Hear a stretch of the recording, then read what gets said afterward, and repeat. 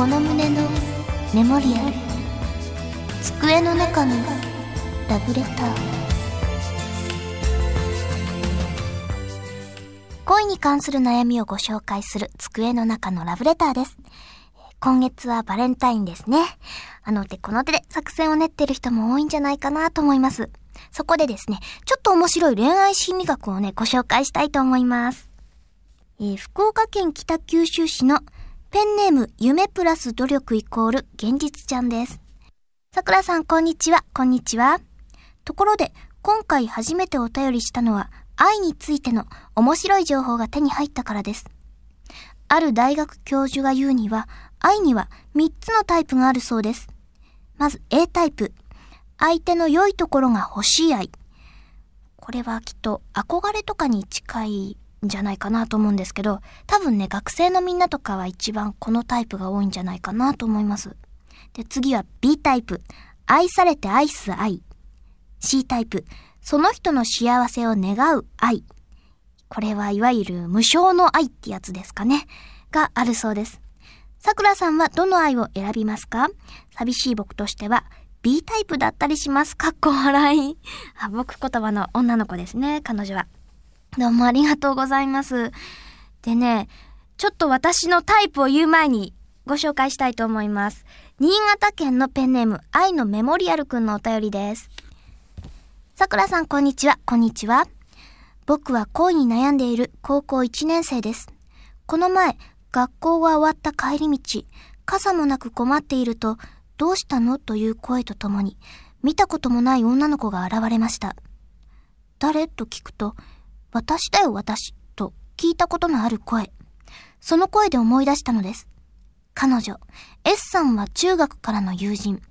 と言っても、それほど親しくもなく、しかも、彼女は長かった髪をバッサリ切ったため、僕には誰だかわからなかったのです。彼女は、傘がないの？じゃあ一緒に入ってく？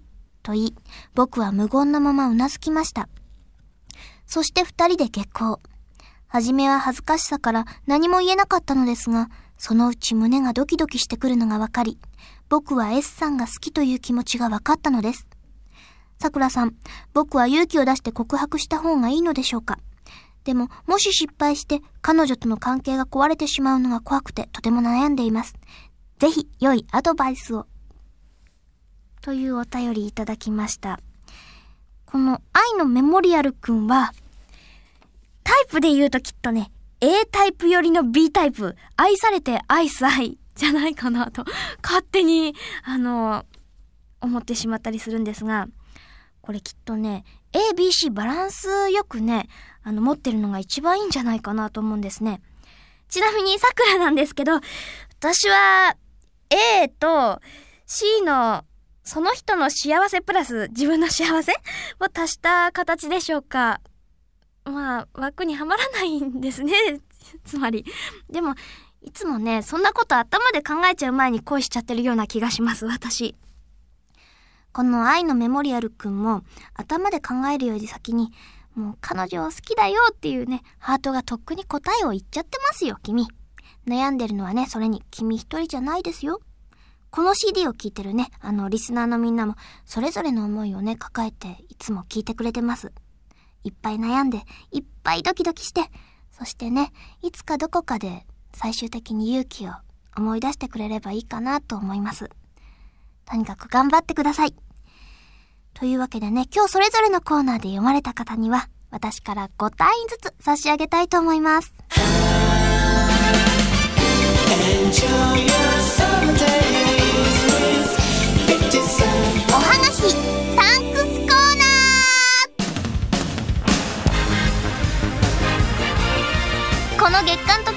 モリアルも今回でナンバーセブンラッキーセブンです。7枚目を迎えましたがこれもひとえにお便りを寄せていただいた皆さんのおかげです。どうもありがとうございます。そして日頃の感謝を込めてですねせめてせめてお名前だけでも時間の許す限りお読みしたいと思います。それじゃあいきますよ。せーの。福岡県のペンネームズニカくんありがとう。えー、福岡県ペンネーム桜の心にときめきよくんどうもありがとう。県ペンネームミスタービンボーくんいつもありがとう。大阪府のペンネーム d ボーイくんありがとう。ねおえーと大分県のペンネームあ12万円くんありがとう。名古屋市のペンネームテイムルくんありがとう。三重県のペンネームタッポくんありがとう。ねえー、愛知県のペンネーム後ろの席は殺人コアラくんどうもありがとう。岡山県えーと横山高光くんありがとう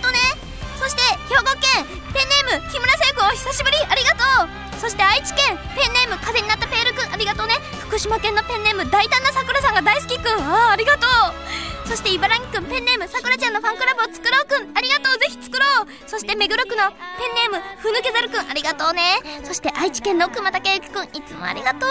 埼玉県のまさき太陽くん読み方合ってるかな？ありがとうね。そして名古屋市のえーとペンネーム誘拐正規くんどうもありがとうね。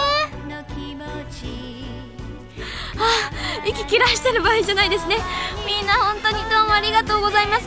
これでもねでもまだまだ全然ご紹介しきれないほどた。くさんたくさんいつもお便りいただいてます。でもあのいただいたお便りは私全部一枚一枚ちゃんと読んでますからね。ご安心くださいね。アルバムの感想とかねコーナー宛てのお便り本当にありがとうね。きらめく二人の時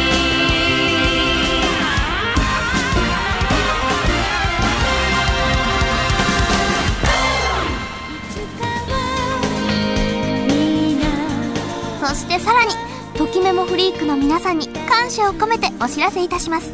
昨年12月藤崎しおりちゃんがシングル「教えてミスタースカイで歌手としてデビューしましたが皆さんの応援のおかげで早くもなんとなんとファーストアルバムをリリースすることになりました、え、タイトルなんですが「マイスイートバレンタイン」です。今ねバックでかかっているこの曲は岡村孝子さんのカバーで「夢を諦めないで」を含む全6曲。そしてそれプラスカラオケ2曲入りで2月14日リリースです。まさにねしおりちゃんからのバレンタインプレゼントになるんじゃないかなと思います。こちらもねみんなよろしくね。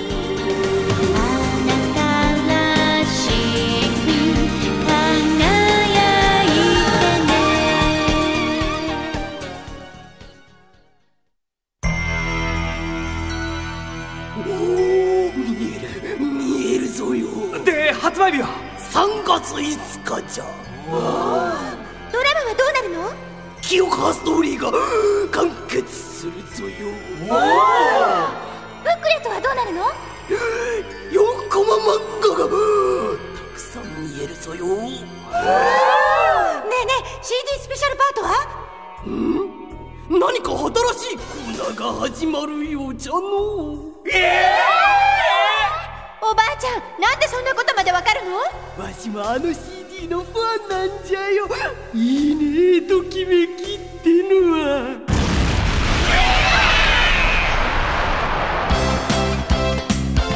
相変わらずのハイテンション。月刊ときめきメモリアル。ナンバー8は3月5日発売。とってもよろしいようですよ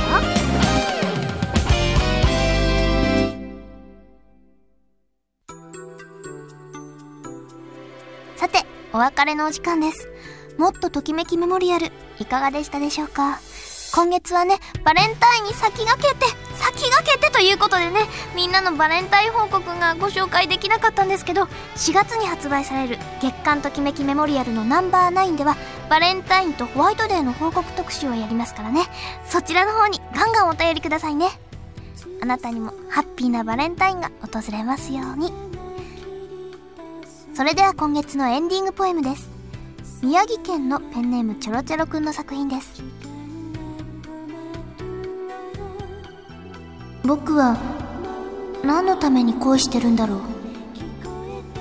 僕はどうして君を好きになったんだろう。君を見てるとこの胸が苦しくなる。瞳を閉じれば君がいる。ただ苦しいだけなのに。ただ切ないだけなのに。どうして？どうして？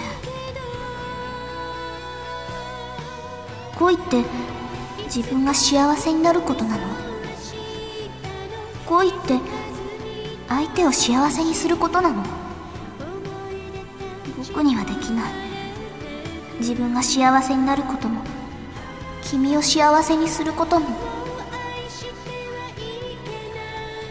神様もしあなたが本当にいるのなら一つだけ教えてほしい。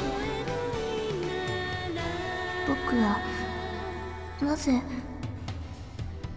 なぜ彼女が好きなんですか？それではまた次回まで。あなたのハートにときめきララ